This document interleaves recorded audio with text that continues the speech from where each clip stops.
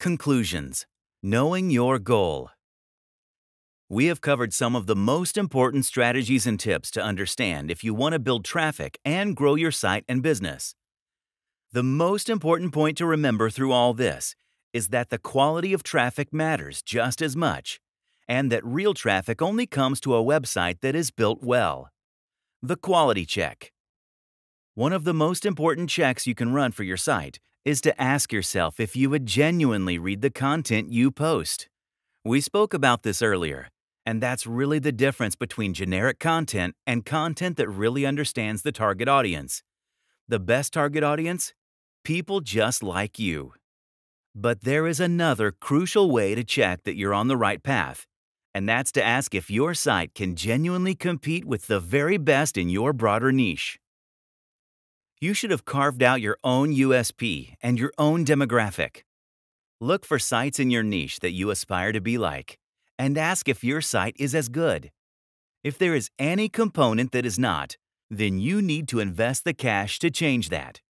That means making sure your logo looks just as good and crisp, and hiring someone to redesign it if not. It means making sure your content is as engaging, this is the difference between the serious players and those that never grow. Think about the sites you read on a daily basis. Those are the ones that are earning the serious money. If nothing else, remember that the big websites won't want to link to you if your site looks in any way amateurish.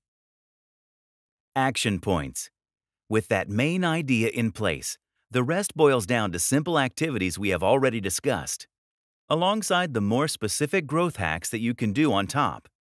Those are research your keywords. Make sure to post regular content on your website. Share with social media. Provide value. Build links. Look at competitor backlinks. Ensure your site is fast, fluid, and well designed. Write unique content that stands out. Use influencer marketing. Use social sharing buttons. Reshare your old content. If you keep doing these things and maintain a focus on delivering unique, high quality content, then the rest is just extra. This is the foundational strategy you should be using to grow traffic to your site.